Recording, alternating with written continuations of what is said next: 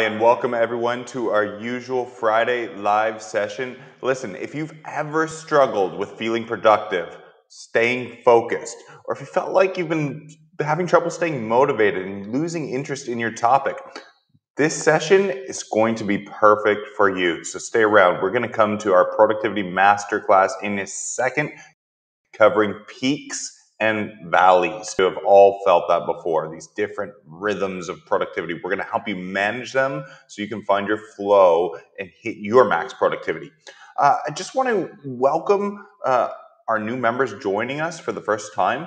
Uh, really good to have you in our Facebook group. Some of you are watching from YouTube and LinkedIn. If you haven't joined our Facebook group already, be sure to do so because you're going to find over 30 hours of 100% free trainings. These are the trainings that I wish I would have had as a graduate student.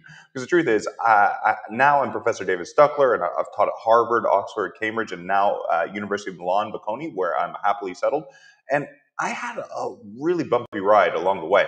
I mean, I still remember the November when I had my back against the wall, panicking because I was going in circles. I couldn't get anything done. And if I didn't get my topic right, I was going to get pushed out of the program at Yale University, where I was a grad student at the time.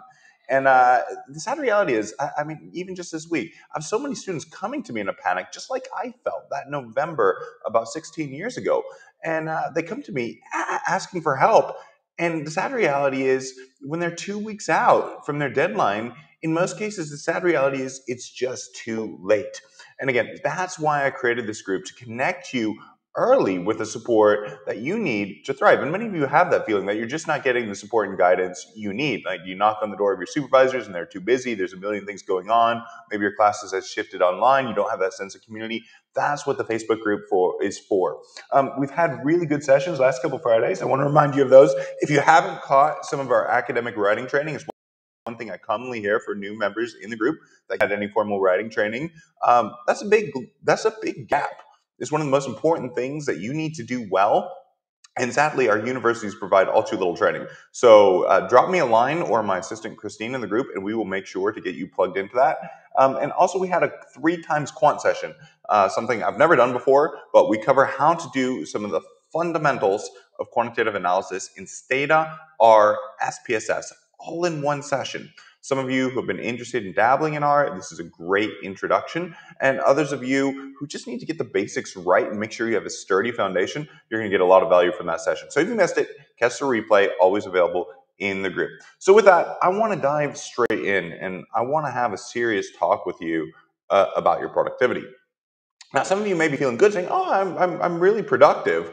Um, hey, even for you, you're going to get some value out of the session because I'm going to share with you a few tips and things that you may not have thought about before that uh, will really set you up to be at your peak performance. So with that, I'm going to share my screen because I think the best way to think about productivity is to think about productivity uh, like like data. Um, like uh, you know, you've got a, a, your units of energy that you want to convert into productive output. So I'm just going to go ahead and share my screen. Uh, and Elaine, I can see you're here with us. Really, really good to have you uh, joining us today. Um, and let's see here. Let's go to screen one. Okay. And uh, hopefully, I had a, I had a glitch the other time on the session uh, with some of you not being able to see the screen. So uh, do do let me know if you're having some trouble seeing the screen, but it's looking good to me. Okay. So uh, one thing about productivity, I did think about this as an axis, and you have in your day a certain amount of energy. All right, and, and, and many of you know your energy levels wax and wane. And uh, let's say hey, energy's feeling good, energy's tanks a little bit low. And uh, here, here's kind of your day and, and your time on this axis. And when you think about a work block, right, many of you guys will think, okay, uh, here, here's my work day, and, and I'm done here, I push, push, push and I'm getting a little bit tired and I'm slowing down. That, that's been kind of, I've been pushing, spending my energy, pushing, pushing, I'm wearing down. And uh, this area here under the curve, this is your productivity. This is, this is what you got out of your workday. And this is what I mean by your productivity peak. Some of you guys, you know, in previous sessions, we've talked about you have some dedicated blocks in your day uh, that, that you need to structure your day uh, to, to make sure you get these product, productive periods and, and protect those blocks. Um, that, that's really that's really important. Um, so here you go, Pro- productivity peaks. Now, um, what some of you don't always think about is that after you have this productivity peak, your energy, just like anything, imagine, uh, for example, you've seen a cheetah in the wild go for a run, that cheetah is then going to slow down and rest for an extended period of time. And so your energy levels are actually going to dip uh, right here and, and, get, get a bit low. All right, so this is really, really quite fundamental to, to remember because this side here, and we're going to end up having this kind of funny rainbow color here. This, this, this here, this is your recovery. This is your valley, right? And it's just like with every mountain where you've got a mountain peak, you're going to follow it and you're going to have a valley. Your, your highs are going to be followed by lows. And I think what a lot of people do when they focus on productivity is they focus on their peaks, but they don't pay enough attention to how to manage the lows. Because the reality is, for a lot of you, um, you, you, kind of have a good sense of when you're productive and you reward yourself for being productive. And that, that kind of re- that reward circuitry in your mind tells you, oh, I did a good thing. I'm going to keep doing these peaks. But really, a lot of people end up getting more productivity if they can take these lows and make them less low and manage them well. And what a lot of the students who come to me have problems with is they actually don't have a strategy at all for the recovery. They're not self aware. They are self aware of their productivity, but they're not self aware of this recovery. And for many of them, they might have a burst of energy and peak and tell themselves, oh, I did great. I got so much done, but not pay attention to the fact that their recovery curve doesn't look like this, but their recovery curve, again, looks like they hit a low and, and then, then they track down here and they take a really, really long time to get back into, into steam. And they think, okay, I'm back. I just need to have more of these big productivity peaks, these big productivity peaks. And, uh, and I, I think that's a little misguided. And so, what I want to talk to you guys about is how to manage these peaks and valleys, what maybe your ideal curve would look like, and I want to give you some strategies uh, for managing both the productive side and especially what you can do to reduce your recovery time. Because the reality is, if you can recover well, you're going to be more productive. Uh, and again, it's just just not what we're kind of engineered to think about. So let me uh, let me move the screen down a little bit and, and go into a little bit more detail about what I mean. So let's imagine a different kind of productivity curve. So I just gave you a productivity curve that looks like mountains. And you know, a lot of us are, are kind of engineered. We've been engineered by society to have these short bursts, productive peaks. We've become, you know, through through marketing and quick hits and quick fixes, we're oriented towards instant gratification. You can really see this from music videos. You know, when I was a kid in the prehistoric period, music videos lasted seven minutes, five, seven minutes on MTV and VH1. Now they've shrunk down and they last two minutes. And on the screen, you know, it used to be just a band playing, and now it's, everything's flashing very quickly. And we're used to with you know our, our, our iPhones and, and gadgets, we can get we can get information instantly. But research isn't like that. It requires extended periods of deep concentration. You can't rely on this kind of big, quick peak strategy to get the things done that you need to get done. So, what I'd rather see a lot of you guys have is not a mountain, but maybe a hill, maybe less intense bursts. And just by doing that, you're going to make your recovery time automatically more manageable. And and the truth is, the, the productivity on this curve will be equivalent to your short burst of intense activity, maybe even more. But what's important is you're going to position yourself well to get back up to uh, to having your peak peak again right away. Um, just one second. I'm going to check something on the stream because I'm getting a notification that uh, one of the streams is not syncing. So I want to make sure everybody's with me. Okay. Yeah. No. Looks like looks looks like we're good. Um, okay. So this looks like less like a, a, valley. This is more like a productivity hill. Um, and you know, and, and that's okay. I want you to think about that. So when you think about how how can I how can I take this productivity and instead of training myself, especially if any of you have ever felt trouble on recovery, say I did my work, now I'm having trouble getting back into it. Oftentimes subconsciously, it's because we just expended a huge effort and and where our bodies are telling us, I don't want to do that. It wiped me out. I, it was you know knocked back. I couldn't get anything done for days. I couldn't get back into it. You want to rewire your neural circuitry to the, where that productivity is fun and enjoyable and something you look forward to and not get into th- this cycle here of this first curve Because often this is this cycle that people get into, this leads to a burnout cycle. And, and people don't realize that, that the issue, actually, the original sin was committed with this original productivity peak. Because they think, oh, that's what I did right. That's what that's what was good. I just need to do more of that. And and they don't realize that their starting premise of that productivity, that big burst of productivity peak, that, that premise is flawed. Um, so I want to come down to this productivity peak, and, and I want you to think now in your productivity, well, how can I manage this? So at least, you know, I, I have continuous, smooth, steady activity that I can fire and execute on a daily basis. You know, I just have a student who's doing um, a systematic review and uh, he's got a, uh, just the nature of his design. He has to go through a lot of papers, um, several thousand, and, uh, and and he's an example of this. He wanted to go through and do the screening and eligibility on uh, you know 500 papers a day, and uh, that that was a productivity mountain.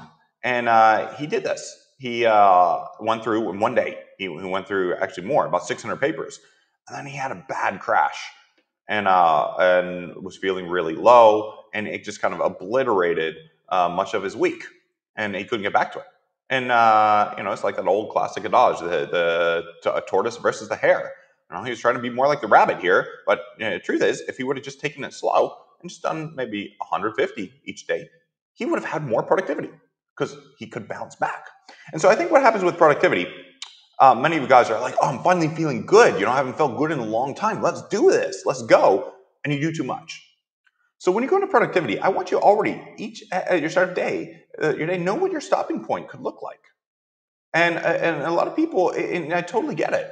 And when you do get that feeling, when it comes back to you, I'm feeling good. This is fun. I'm in my flow. You want to go and go and go and go. But think about it. Um, you know, uh, if you thought of yourself as an athlete, if I go tomorrow and I run a marathon, uh, maybe I could finish, but I'm not getting back on my feet for a while. I'm gonna like be be just like collapsing on the floor in a heap. Hopefully, nothing bad happens to my health. I ask my uh, family and, and, girlfriend to like bring me food because I'm just gonna be like a walking zombie. Um, so even if you could do it, you don't really want to. And I don't think a lot of people go into their productivity and think, "What's my stopping point going to look like?" They just go into their productivity and say, "I'm just going to do as much as I can. I finally got a window. I'm going to do it." So know what your stopping point is going to be. You need to rewire your neurocircuit. You say, I did what I needed to do, no more, no less. Stop there. So find that stopping point.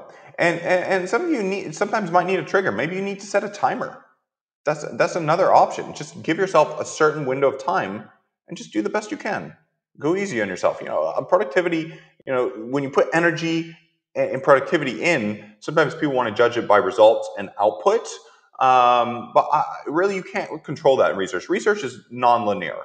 You know, there's going to be some times where you feel like you you you can see concretely, oh, I got so much done um, for for a, a little unit of time, and other times that that you have big unit of time and you can't see much. Maybe because that big unit of time, you're trying to figure things out for the first time, and that just is going to take some time for you to figure out to forge those neural connections and understand a complex system. That's okay. So another way to do this uh, in your productivity is set a timer for one of your blocks um, and, and, manage it that way, and that's okay. Um, and, and, really, in productivity, you need to get in the habit again of rewarding your neural circuitry and giving yourself the grace and gratitude. To say it's okay. You need to find some way to reward yourself um, that, that you've done a good job on the productivity because too often uh, people reward themselves when they had this big mountain peak. So find, find some way to do this on the reward. Now, I say this on the stopping point because if you can have a productivity hill instead of a productivity mountain and execute that on a consistent basis, this hill is going to add up and add up and add up, and, and you will have your productivity mountain in a series of small bite-sized jump kills. Okay, so what does this mean for recovery though? Um, you know, if, if, if I if I haven't run the marathon, but I, have broken the race up in, in chunks, you know, I'm, I'm going to be able to get back up on my feet the next day. Um, but we still do need to think really hard about our recovery phase.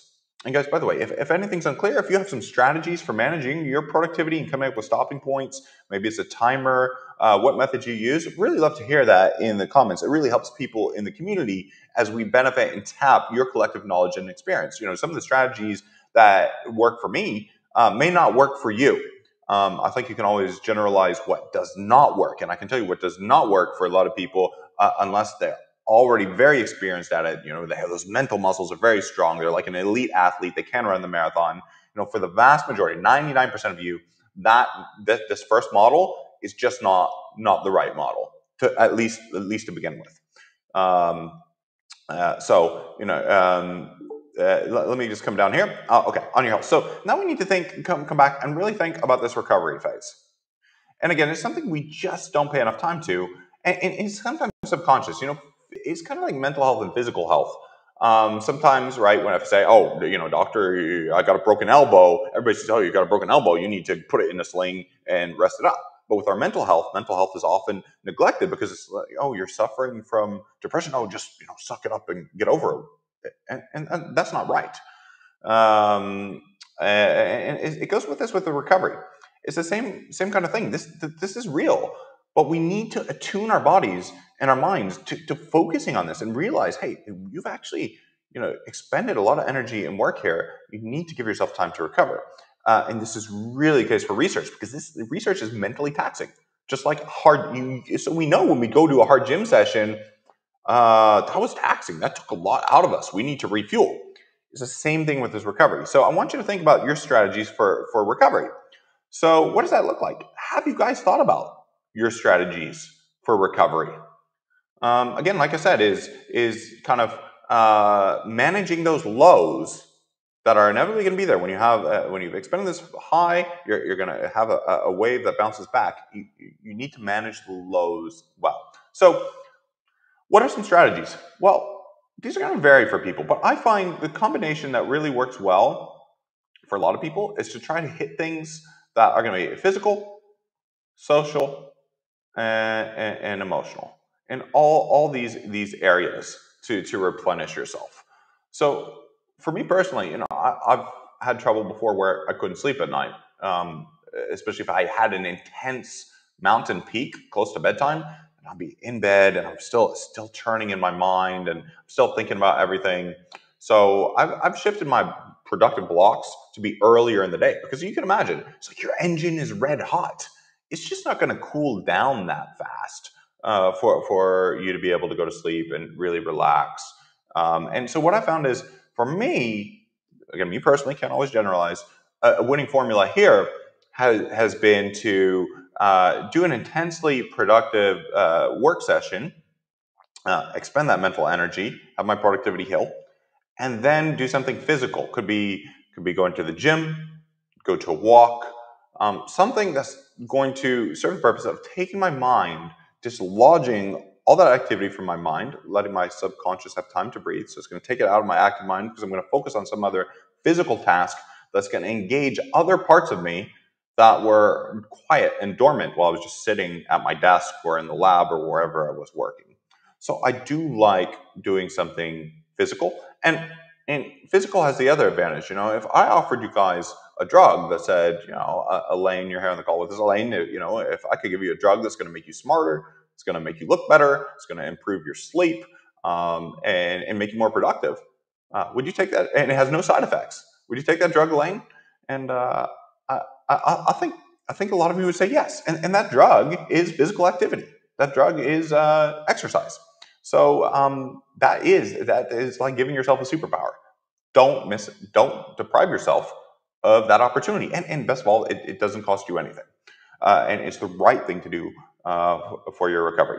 Social and emotional. Um, you know, social. This is this is friends and family. Uh, and uh, I think there's a tendency, especially those who who are on a burnout pathway, to neglect friends and family. They think, oh well, I don't have time for this. I'm so busy. I, you know, I don't even have time to eat. This is uh, this is definitely that definitely a problem. I just want to uh, a really nice comment here that I think was helpful.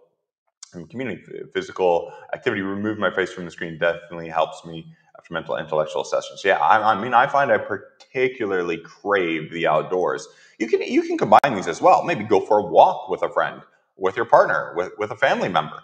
Um, can can really work nicely. But I, I, do need that. I find I personally need that to uh, disconnect and attach. Make sure you get that social time. Um, for some of you in university, maybe even if you're living alone in a dorm room, um, you know, just make sure you don't withdraw. Make sure you invest in these relationships. That that this social capital, as um, social scientists like to call it, is, is incredibly important, and and it's also important, right, as a graduate student. Why? This is this is a as I've gotten older in, my career, I found that the contacts and connections and network that I've made in graduate school has been foundational. It's carried me through my career. And as my contemporaries became more and more successful, um, it opened up more and more opportunities for me going forward. So this is not just, you know, sometimes I think people think, oh, well, this is just a luxury or this is a vice. No, it's important for your recovery, but it's also an important investment in your future. So uh, don't lose out on that. And these, and at the end of the day, look, what's going to matter more than the papers you published are going to be these relationships with uh, friends and family. Um, so make sure you have that support in place and invest in it because it, it, it is invaluable. And, and, and I know you hear it a lot and it's easy to neglect when you feel under pressure on your productivity, but, but um, that's what you need on your recovery side. And finally, emotional. Um, some people get this, uh, they, they, combine this with physical activity. Some people say they, they get uh, an emotional eh, or even a spiritual enrichment from doing yoga or meditation. It helps them feel centered. Um, some people read poetry or write poetry or something that's going to, again, hit signs of you that are being neglected when you're being very logical and, and narrow. I want you to be, you're inevitably when you're doing research, you're going to be lopsided. Um, you're going to have this big uh, project and that you're really focusing on this narrow thing in, in your field that oh maybe uh, a limited segment of people in the world care about um, and and you're going to be lopsided but you do need to pay attention to your emotional health as well and your emotional resilience um, because that's what what what can so easily tip you into feeling depressed. If like, oh, I had a big productivity peak. Oh, now I'm I'm not recovering well, and then just sink and get beat yourself up because you can't get back to your productivity mountain uh, up here. Um, you, you got to pay attention to your emotional health. I don't have the magic formula. You know, there, there are people who will sell you a magic formula. I have nothing to sell you here. Um, I want to see all of you do well. Um, but um, you, I want you to just track yourself on the recovery side. Can you, how long does it take for you to start feeling good again and, and ready to go? Um, and, and try to benchmark this and not just benchmark uh, the things that are helping you on the recovery, uh, on the productivity side. So I'd love to hear from you a little bit more. What, what do you guys do to, to recover? I know Courtney in our group, she talks about she has many pleasures or many vices. And, and for her, that's just that's cooking. She loves uh, cooking with her family and doing something nice for her family. And that really uh, is a way for her to disconnect and do something really quite enjoyable at the same time. Um, Elaine has a question here I, I, want to take. So let me turn and, and take a few questions uh, from from all of you. Um, and uh, yeah, uh, Elaine, let me let me just bring you on here. Um, Elaine, let me bring you on for a second. Actually, I'll, I'll see if your connection's good enough. Yeah, why don't you put share that question with us? Hey, Elaine, really good to see you. Hi. Sorry, I've been MIA. I started a new contract gig. So mm-hmm. one of the things that's been coming up a lot in conversations um, is students not being supported when they're doing emotionally exhausting work, and particularly if you're also a research in your own uh, participant in your own research. Mm. And so I have never had an experience of having supervisors or committee members or profs even talk about how difficult this work is. So my area is poverty, poverty discrimination in Canadian universities.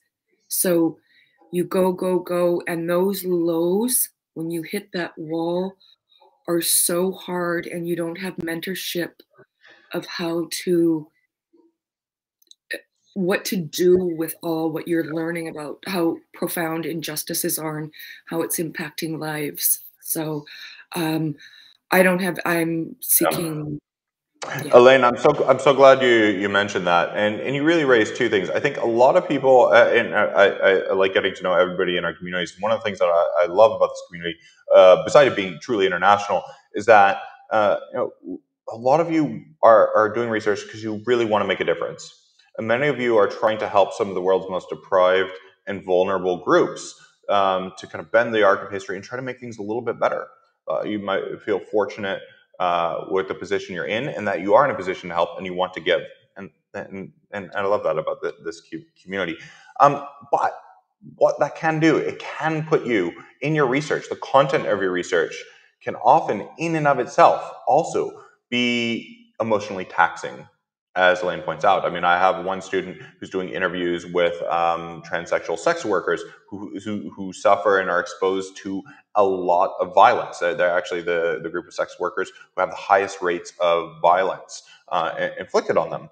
And uh, this, this has been incredibly taxing for this student. What, what you need to make sure you've got, I mean, and especially in that kind of situation, especially important to pay attention to the recovery stage. And, and like you said, Elaine, no one really talks about this enough so you need two things in place that I think are, are, fundamental. One is ideally you'll have a mentor who, who has worked with these communities before and can also help you in understanding how to manage that. Just like in the way doctors, when they do their medical training, uh, if they're confronting death experiences for the first time, this this can be very confronting, and they need some training to to and they get that training to deal with it.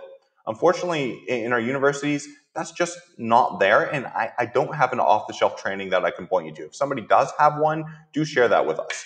But um, if you're going to undertake that kind of work, you need to make sure you've got the right support structure in place and absolutely make sure you have a mentor because there are certain risks in doing that work involved. And I don't recommend, uh, especially dealing with those incredibly vulnerable populations, you ha- need to go through an ethics review to begin with, but you, you also need to make sure you have that in place. Second is have a community. And, uh, and, and uh, I, I really don't recommend that kind of work if you're isolated and alone. It's kind of the, the, the, the thought and notion that a therapist needs a therapist. You, you, need, you need people you can count on to help you. And that's where the power of community really is. Um, and so if you don't have that community, um, reach out to us and let, us see, uh, you know, and, and that's the power of the Facebook group. We, we have a community there. We also have a more private community for students who really want to work in an advanced way. But reach out to me and let's see if we can plug you in to a community of practice uh, where you are. And reach out for that community. Those exist. They might not be right in your neighborhood, but they might be international. And so uh, I even know for, for, for, me, Ellen, when I was a graduate student, um, my community of practice was constructed from uh, my mentors helped me introduce me to those communities and we were a loose knit group of grad students um, postdocs and professors working in the same space and we were in regular and close contact and that was enormously helpful. Um, i'm really glad you mentioned that elaine. Can you think for yourself of where you might find that kind of community of practice? Well i've, I've part of my research was creating what I, we call the underclass sisterhood of solidarity. Um, but also understanding that um, it is very difficult to find people to connect with because social class is so taboo to talk about in Canada.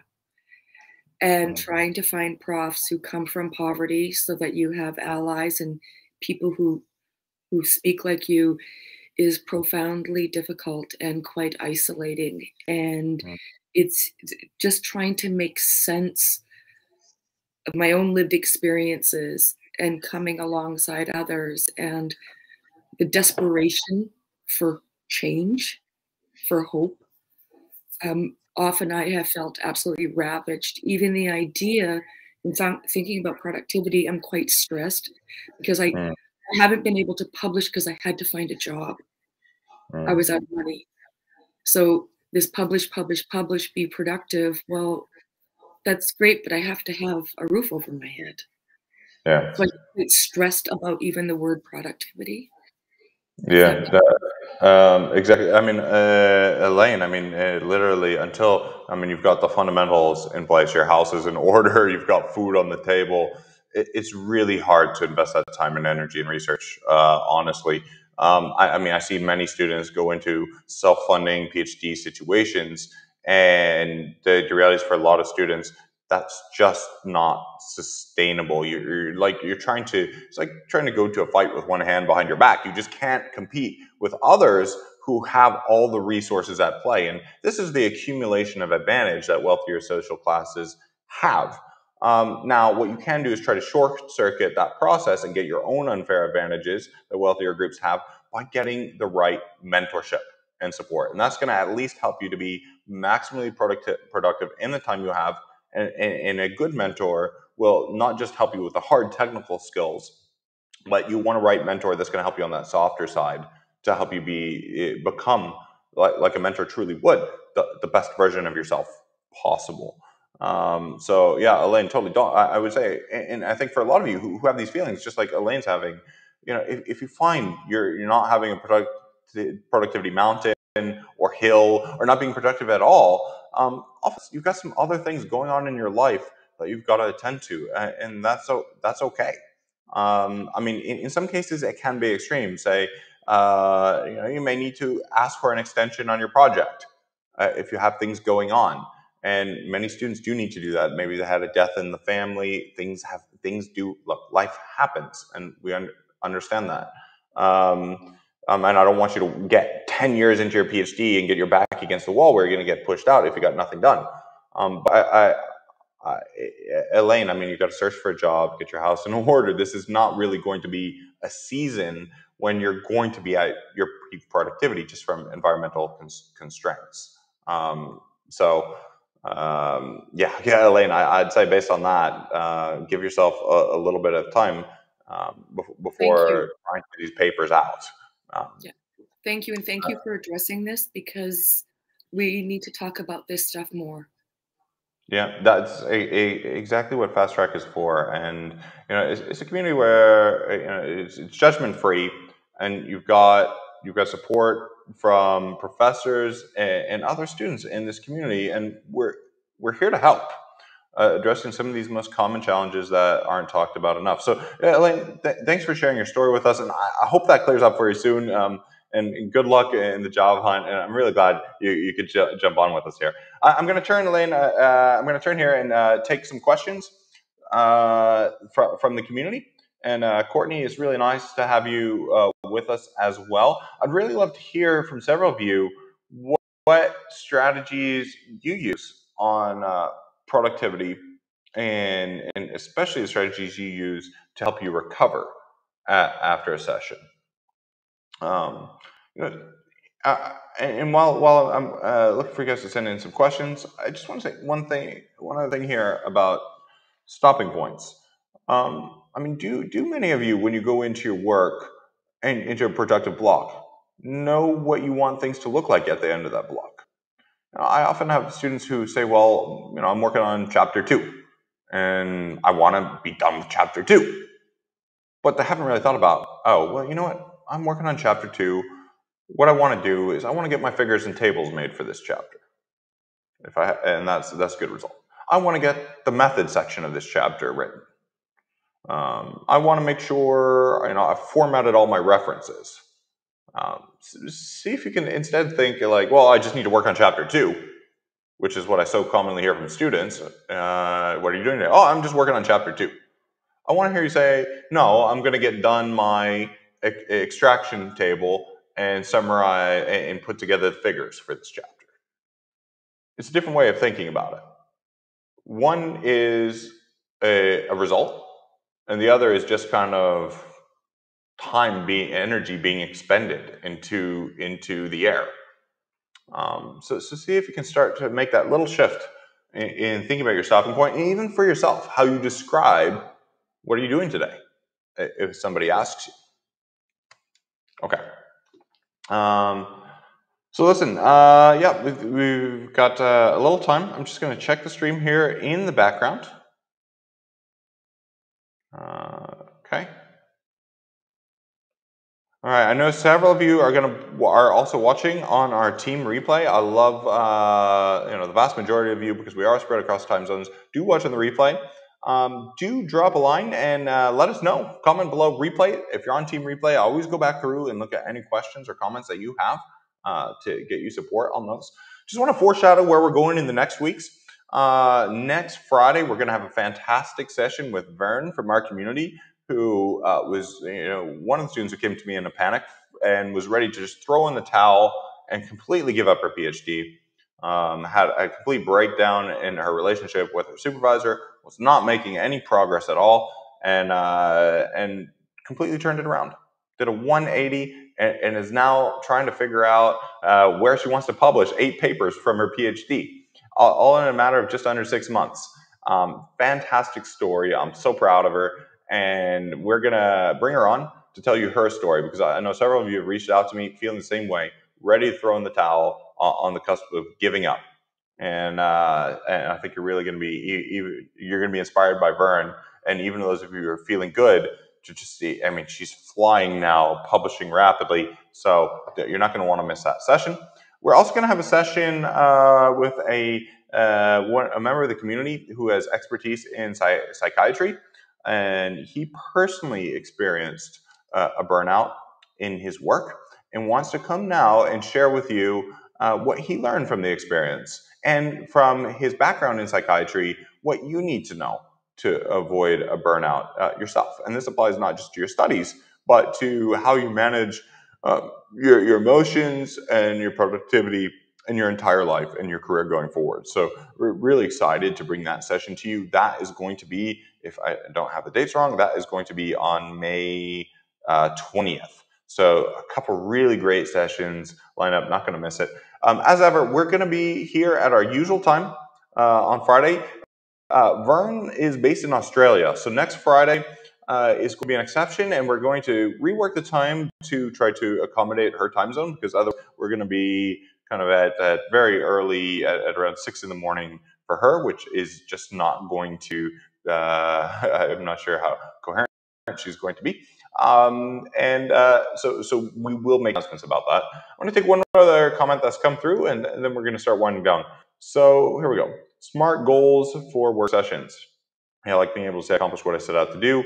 I like starting my day by aligning three tasks that will meet my day, week, month goals. And I really like that. I, I really like that a lot. Um, and so uh, thanks for sharing that with us. Uh, hang on a second. Just wanted to uh, check who, who sent that on the live chat. Um, yeah, so uh, makes a lot of sense. And many of you, I encourage you, uh, if you haven't seen our optimization of one training, to think about what is the main thing you need to get done over the next few months and make sure that your productive output is focused in going in a straight line in that direction that you're not getting distra- distracted. So just the fact that you put this together um, is, is a very, very good sign. And uh, I, I like to see that a lot um, and talk about your language of your productivity in terms of your goals, not just like, you know, I, am just working on a chapter. Okay, Here, here's another to recover. Um, thanks for sharing this. I, I like this one. Uh, this one a lot. I watch a short movie. Yeah, I, you know, I, I, do the same thing. I, sometimes uh, will put on Netflix. I'm currently watching uh, Peaky Blinders, which I've been really enjoying. Um, watch a short movie to recover. Talk to a friend, family member on the phone. Anything positive, inspiring, resolve a situation. Yeah, uh, exactly. So that's really nice. And just just asking you, I mean, do you you just track that, track how you feel afterwards? It's something you might even take for granted, but uh, I want you to just be consciously aware that this is part of that recovery downtime. That this is this is uh, picking yourself back up. Elaine has a good one that's kind of like what Courtney does. I bake treats for the elderly people in my building.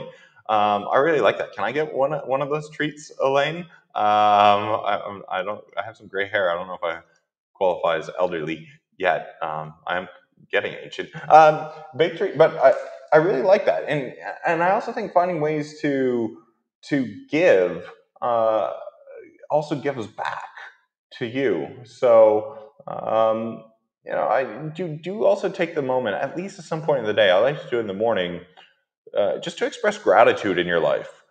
Um, you know, sometimes we can get so focused, all right, um, uh, so so focused on what we need to do, and you know, focus is feeling. It's so easy to get drawn into. I'm focusing on this. I'm focusing on this, and I don't feel good unless I got that done. And we don't give ourselves time to feel gratitude for all the other things that are going on. And this, in some ways, can be the the rich man's curse. The, the, the people are so focused on on getting more riches or, or getting this or that fixation that, that they want, um, they lose sight of all that they already have. And so, wherever you are, whatever situation you're in, yeah, there might be some things that are not going well. You may have some struggles, but take a moment and remember what things that you can be grateful for um, in your life that that um, you know maybe something that you've done, you've worked hard for, that you've achieved. Um, that might just be as simple as the health that, that you're enjoying right now, or, or the health or the relationships you have with your friends or family. Just take a moment to be grateful. Um, and, and, and that's key. I mean, I'd love to do a session uh, just on emotional health because again, it's something we don't talk about enough, and, and Elaine mentioned it here. Okay, guys, that, that's a great place to to end, and uh, I will look forward to seeing you next week. If you have uh, any questions, as ever, um, you know these sessions are your time, and we use this to prepare trainings that you'll find personally helpful. And this week came out of some students expressing some challenges with productivity. Um, just like the quantitative training came from some students saying that they were struggling with some of their quantitative analyses and wanted some support. So uh, this is an open access community uh, for you. So uh, to make the most of that and for you to get the most value, um, I love being in touch. So get in touch with me, get in touch with Christine, our assistant in the group, and we will connect you to the right trainings that can be personal help, personally helpful for you. Or if we don't have it, that's what we also can use these sessions for. I uh, hope you have a great weekend, everybody, and I will look forward to seeing you next week uh, with Vern. Take care, everyone.